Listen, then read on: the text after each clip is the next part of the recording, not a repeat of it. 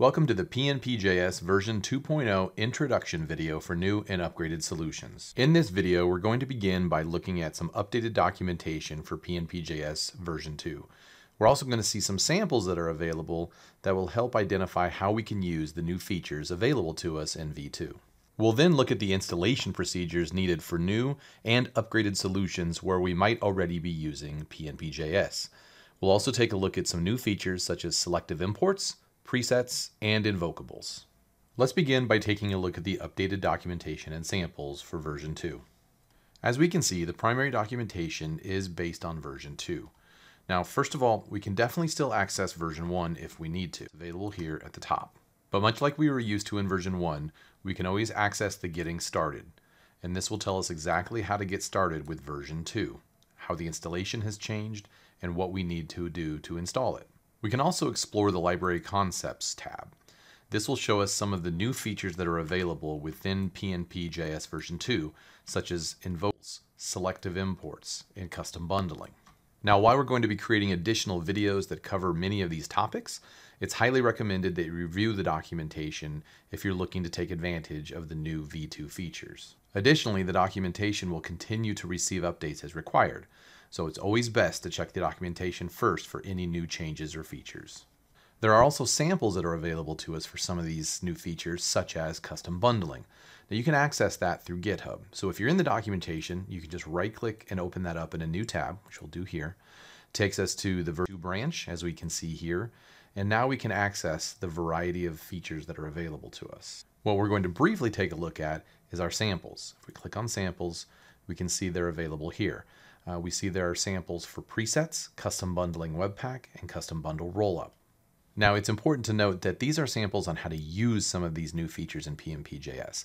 This is not where you would want to put any samples you've created that utilize PNP.js. Those will still go into these SPFX repositories for web parts and extensions. Now let's take a look at a demo of installing PNP.js version 2 into a new solution and utilizing some of the features such as selective imports. We also wanted to mention that in these demos, we're just going to provide an overview of these features because this is an introductory video, but we will have additional videos that will dive deeper into these features. Let's begin by setting the context for this demo. I've created an out-of-the-box SharePoint web part where we're going to install PNP.js version 2 and use it to connect to our website and request a list of our lists. First thing we want to do is install PNP.js version 2. We can do this by simply making a request to the SP and the graph packages. Those are the only two requests we need to make, which is different from version 1. Of course, we want to include the request to save it with dash dash save. Now that we've installed our PNP.js version 2, we can begin making the import statements to our solution. If we had used PNP.js prior to version 2, we know the only import statement we needed to make to connect to SharePoint lists or libraries was directly to the SP package.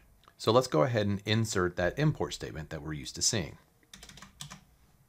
Everything looks to be working right so far, so let's test that out and see if it works. We typically would type sp.web, but immediately we see something's wrong. It's throwing an error because in version 2, we now are able to utilize selective imports. Essentially, selective imports allow us to select the parts of PNP.js we would like to import as opposed to the entire package as how it worked in version 1. This is greatly going to benefit us from a performance perspective because now we only need to bundle in our solution the pieces we're actually using from the PNP.js library as opposed to the entire library. Now, because we know in this demo we would like to connect to our SharePoint site and retrieve a list of all of our SharePoint lists, we're going to need to include a few more import statements. So I'll go ahead and paste those in now. And we can see our error has now gone away on our web object.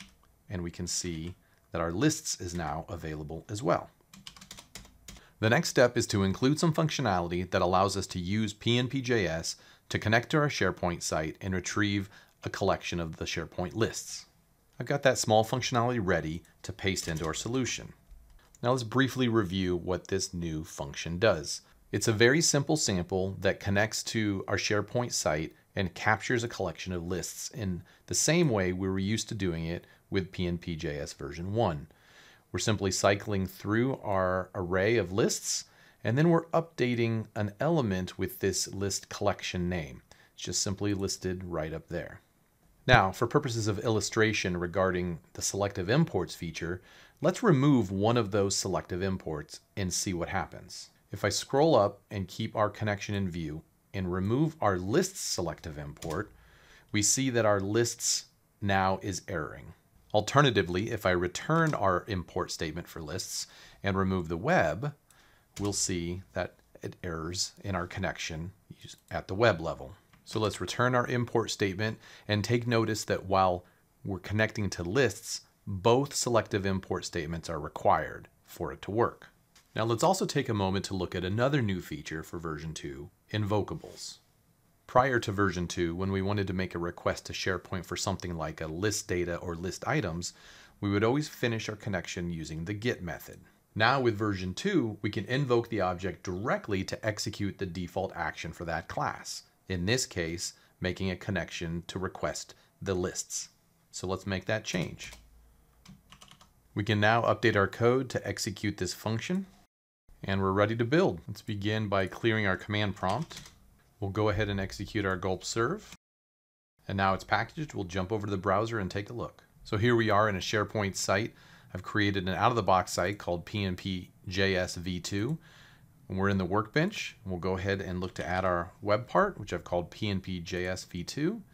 It's loaded, and we see it successfully loading the lists within our site collection. Now let's take a look at another demo where we will take an existing solution that is using version 1 of PNP.js and upgrade it to utilize version 2. Now in this demo, we're also going to take a look at a new feature called presets. You can find presets in the documentation under the transition guide and the presets section. We're going to dive deeper into presets in another video, but in short, it allows us to group an entire set of selective imports into a single import statement. Because of the selective import feature that we saw in the first demo, presets play a very important part in successfully upgrading your version 1 PNP.js solutions to version 2. Let's jump to the demo, take a look. Now in this demo, we've got a SharePoint web part that's been set up exactly like we saw in our previous demo. It's using PNP.js to connect to our SharePoint site and retrieve a collection of list names. The difference is that it is currently using PNP.js version 1. Naturally, the first step would be to get our PNP.js packages updated to 2.0.